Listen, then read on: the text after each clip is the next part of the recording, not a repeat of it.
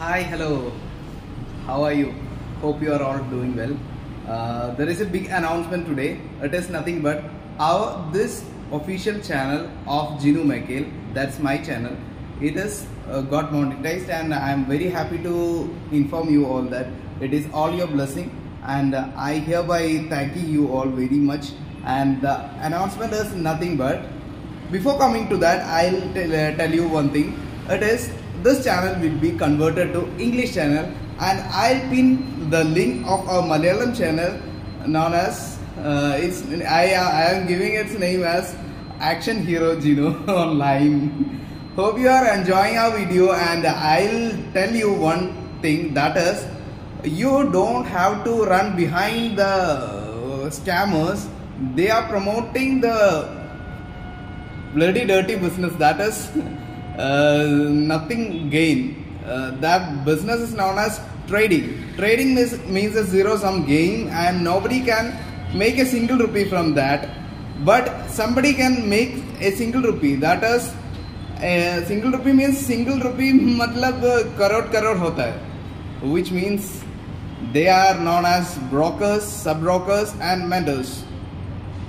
One of the top mentor who died in 1995 i'll give you a clue gd something kuch hai.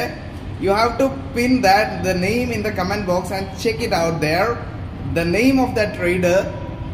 Got i think it is suicide or a death normal death or whatever it is.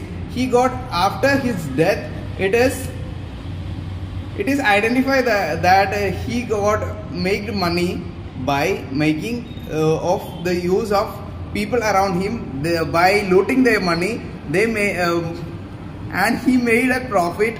It is not profit. Actually he got suicide i think so. He got suicide because of his debts. The reason is nothing but he did that attempt because of his liabilities.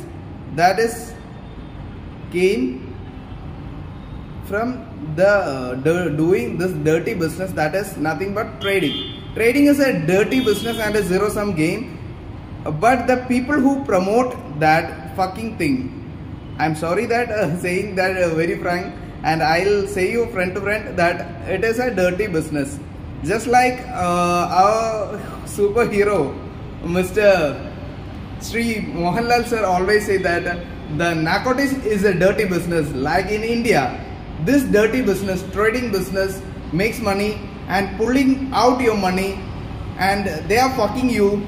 And sorry, using the abusing words that that I have to say this fucking guys to fucking follow you because they are fucking you. are you mad, yaar?